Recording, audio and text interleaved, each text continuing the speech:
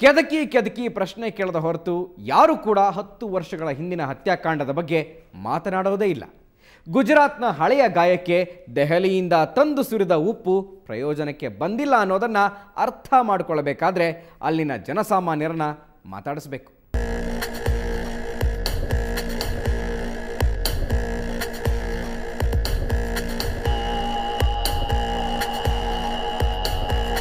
ಈ ಸಲ ಇಲೆಕ್ಷನ್ ಭಾಳ ಜೋರು ನಡೀತಾ ಇರುತ್ತೆ. ರಿಸಲ್ಟ್ ನೈಂಟಿ ಪರ್ಸೆಂಟ್ ಮೋದಿ ಇದ್ದೇ ಇರ್ತಾರೆ ಅಹಮದಾಬಾದಿ ಒಂದು ಮೂವತ್ತೈದು ವರ್ಷ ಆಯಿತು. ಮುಂಚಿನ ಒಂದು ಇಪ್ಪತ್ತು ವರ್ಷದ ಪರಿಸ್ಥಿತಿ ನೋಡಿದರೆ ನಾನು ಅಹಮದಾಬಾದ್ ಬಿಟ್ಟು ಹೋಗೋ ಪರಿಸ್ಥಿತಿ ಇಲ್ಲ. ನನಗೂ ಕೂಡ ಮುಂಚೆ ಪೊಲಿಟಿಕ್ಸ್ನಲ್ಲಿ ಭಾಳ ಇಂಟ್ರೆಸ್ಟ್ ಇತ್ತು. ನಡುವಿನಲ್ಲಿ ನನಗೆ ಈ ಪೊಲಿಟಿಕ್ಸ್ನವ್ರದ್ದೆಲ್ಲ ನಾಟಕ ನೋಡಿ ಮತ್ತೆ ಬಿಟ್ಟೇ ಬಿಟ್ಟೆ. ಈ ಮೋದಿ ಬಂದ ಮೇಲೆ ಮೋದಿಯವರು ಆ ಒಂದು ಕೆಲಸ ಎಲ್ಲ ನೋಡಿ ನನಗೆ ಪುನಃ ಪುನೊಮ್ಮೆ ಇದರಲ್ಲಿ ಥೋಡ ಇಂಟ್ರೆಸ್ಟ್ ಆಯಿತು. ಕೆಲಸ ಮಾಡುವವರು ಕೂಡ ಇದ್ದಾರೆ. ನಮ್ಮ ದೇಶದಲ್ಲಿ ಕೆಲಸ ಮಾಡಿ ತೋರಿಸುವವರು ಇದ್ದಾರೆ. ಮುಂಚೆ ಅಹಮದಾಬಾದಿಂದ ನಾನು ಬಂದಾಗ ಇಲ್ಲಿ ಒಂದು ವೆಹಿಕಲ್ ತಗೊಂಡು ಹೋಗಿ ರಸ್ತೆಯಲ್ಲಿ ಹೋಗಲಿಕ್ಕೆ ಸಾಧ್ಯ ಇಲ್ಲ. ಅಷ್ಟು, ಅಂಥ ಪರಿಸ್ಥಿತಿ ಈಗ ಅದು ಅಹಮದಾಬಾದ್ನ ಯಾವ ಕೊನೆ ಕೊನೆಗೆ ಹೋದರೂ ಒಂದು ರೋಡ್ ಇಲ್ಲ ಲೈಟ್ ಇಲ್ಲ ಅಂತ ಇಲ್ಲವೇ ಇಲ್ಲ. ಆ, ಯಾವನಿಗೂ ಒಂದು ಸುಧಾರಣೆ ಹತ್ತು ವರ್ಷದಿಂದ ಮುಂಚೆ ಬಂದವನಿಗೆ ಈಗ ಬಂದರೆ ಅಹಮದಾಬಾದ್ ಚೇ, ಬೇರೆ ಅಹಮದಾಬಾದ್ ಅಂತ ಕಾಣ್ತದೆ.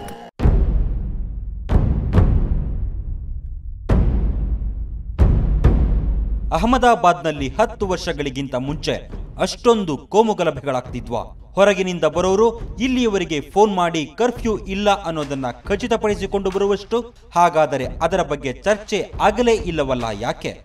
ನಮ್ಮ ರಾಷ್ಟ್ರೀಯ ಮಾಧ್ಯಮಗಳು, ಆರಾಮ ಕುರ್ಚಿಯ ಬುದ್ಧಿಜೀವಿಗಳು ಆ ಸತ್ಯವನ್ನ ದೇಶದ ಜನರ ಮುಂದೆ ಇಡಲೇ ಇಲ್ಲವಲ್ಲ?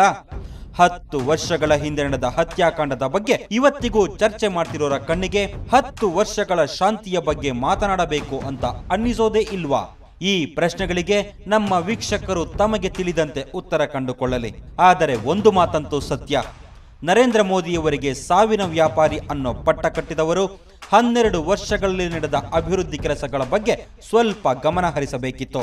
ಕಾಂಗ್ರೆಸ್ ಅಂದರೆ ಇಲ್ಲಿ ನಲವತ್ತು ವರ್ಷದ ಐವತ್ತು ವರ್ಷ ಕಾಂಗ್ರೆಸ್ ಇದಿತ್ತು. ರಾಜ್ಯಭಾರ ಏನೂ ಇಲ್ಲ.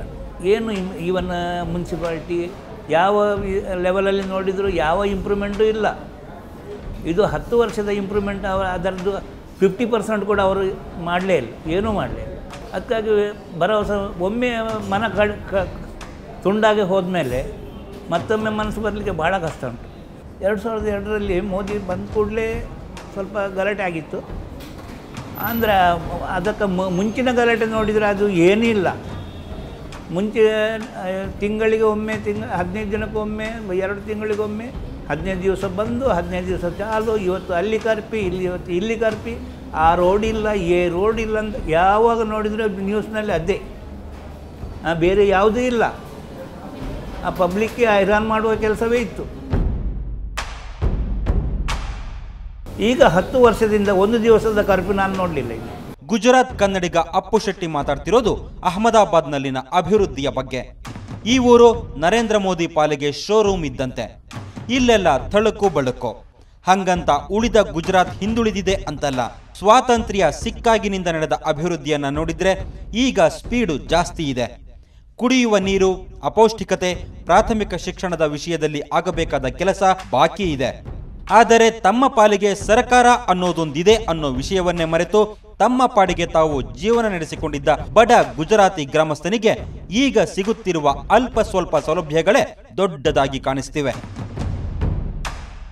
ನರೇಂದ್ರ ಮೋದಿ ಅಪದ್ ಬಾಂಧವನಂತೆ ಕಾಣಿಸುತ್ತಿದ್ದಾರೆ. ಇನ್ನುಳಿದಂತೆ ಮೋದಿಯವರನ್ನ ಒಬ್ಬ ಅವತಾರ ಪುರುಷ ಅಂತ ಬಿಂಬಿಸುವಲ್ಲಿ ಅವರ ಆಪ್ತ ವಲಯ ಯಶಸ್ವಿಯಾಗಿದೆ. ಇದನ್ನೆಲ್ಲ ಮೂಕ ಪ್ರೇಕ್ಷಕನಂತೆ ಕುಳಿತು ಅರ್ಧ ಗಾಬರಿಯಿಂದಲೂ ಇನ್ನರ್ಧ ಆಶ್ಚರ್ಯದಿಂದಲೂ ನೋಡುತ್ತಿರೋದು ಗುಜರಾತ್ ಕಾಂಗ್ರೆಸ್.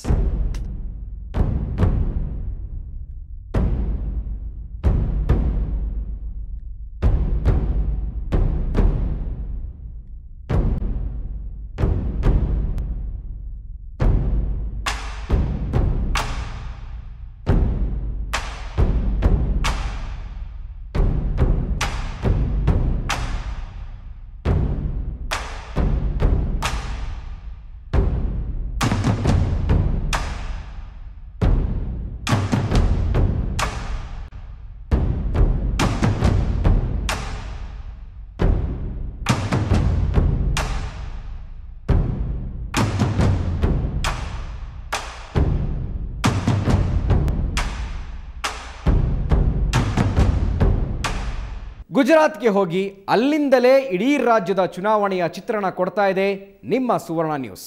ಇದು ಈ ಹೊತ್ತಿನ ವಿಶೇಷ.